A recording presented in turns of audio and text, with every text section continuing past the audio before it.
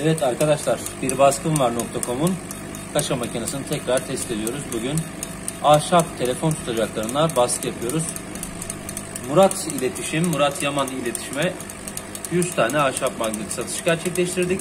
Lazerimizde şimdi bunların kazımasını yapıyoruz. Gördüğünüz gibi hiçbir zorluk çekmeden ahşabı çatır çatır kazıyor. Arkadaşlar daha önceki videolarımda bahsettiğim gibi bakın diğer makinaların ucuz makinaların kenardaki bölmeleri alüminyumdur. Yani kızaklar çoğu alüminyumdur.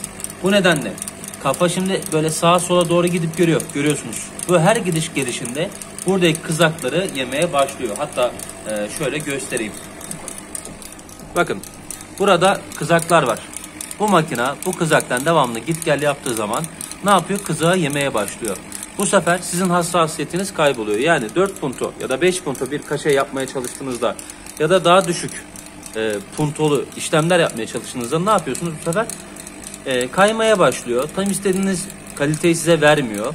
Bu nedenle de buradaki e, köşelerin çelik olmasına dikkat edin. Biz bunu bu makinede değiştirdik. Daha önceki makinalarımızda da alüminyum kullandıklarımız oldu. Ama bu makinede kesinlikle çeliğe döndü ve gayet hassas bir şekilde şu an bize kalitemizi veriyor. Ne kadar hassas işlediğini görebilirsiniz. Ne kadar hızlı işlediğini görebilirsiniz. Ki e, ahşapta ben biraz daha hızını düşürüyorum. Daha derinlik versin diye. Daha e, bir kalite ortaya çıkarsın diye ama normal mesela Trodat'ın silikonunu kazırken herhangi bir yavaşlatma söz konusu değil. E, direkt 150 ya da 160 gibi bir değerle hızını yükseltip 2 dakika içinde kaşe yapmasını sağlayabiliyorum. Eğer büyük bir kaşe ise 911 ise ortalama 1 dakika içinde yapıyor. Tabi bu sizin kullandığınız malzemeye göre de değişebilir. Sırdaşın silikonunu da kullanabilirsiniz. Turadat'ınkini de kullanabilirsiniz. Uzak doğudan da alım yapıp onları da kullanabilirsiniz. Ama e, reklam yapmak gibi olmasın. Trodat'ın e, silikonu her zaman için kaliteyi bir tık arttırıyor diyebilirim. Evet yazmaya devam ediyor. Logomuzu bitirdi. Şimdi Yaman bölümünde az sonra da alttaki kısa bölmeye bir yazı yazacak. Makinamız Bolu'da.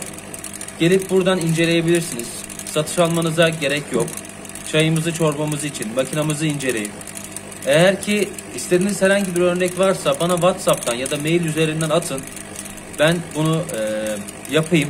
Ahşapsa ahşap, kaşe ise kaşe. O sırada videosunu da çekerim. Size YouTube WhatsApp'tan geri gönderirim ya da YouTube'dan paylaşırım. Direkt oradan izleyebilirsiniz. Yani buraya kadar gelip deneme almanıza da gerek yok. Uzaktan iletişimde her şeyi artık halledebilir hale geldik. Evet son bölmeye yazıyor.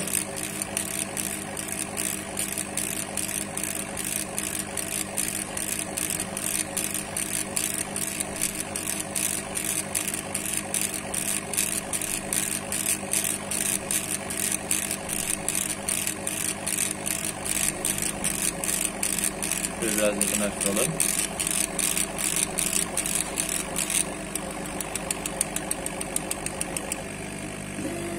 Evet, bitti arkadaşlar. Şöyle bir göstereyim. Bakın gayet net bir şekilde kazıdı. Şöyle ışığımıza doğru gidelim.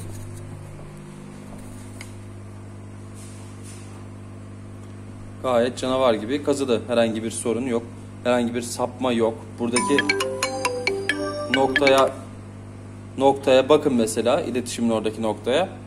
Gayet net bir şekilde görünüyor. Hatta yaman iletişimin noktalarına bakalım. Gayet hassas, gayet derin yazılar.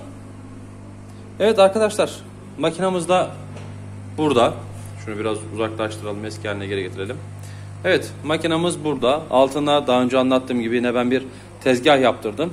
Burada laptopu çıkartıp koyduğum bir bölme var. Yani işimiz bittiği zaman laptopu kapatıyoruz ve bunu ilerleterek aynı bilgisayar masası gibi eski haline geri getiriyoruz.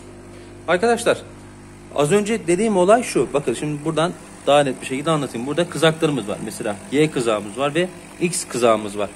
Yani enlem ve boylam. Buradakiler alüminyum olursa yani şu kafa her gelip gittiği zaman şuradaki bölümleri şöyle göstereyim. Şuradaki bölümleri aşmaya başlıyor, aşındırıyor.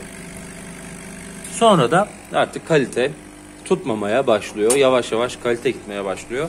Bu da tabii ki de hiçbir reklamcının, hiçbir matbaacının isteyeceği bir şey değildir. Burada ampermetrem var. Buradan derecenizi ayarlayabiliyorsunuz. Bu 40'a kadar gidiyor ki ahşapta ben 15 veriyorum. Normalde %100 e, amper olan bir makina düşünün.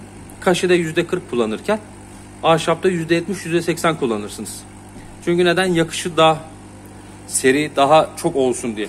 Arkadaşlar bizim makinamızın kafası o kadar hassas ki 40 amper metre olan bir derecede şu anda 15.1 kullanıyoruz. Yani hemen hemen yarısı, yarısından daha azını kullanıyoruz. Bakın basıyorum normalde bu 40'a kadar gidiyor. Şuradan da göstereyim. 50'ye çıkıyor ama biz çok önermiyoruz. 40'ta durmasını tavsiye ediyoruz. Yani 40 hatta 100'e kadar devam ediyor bu. Gerek duymuyoruz.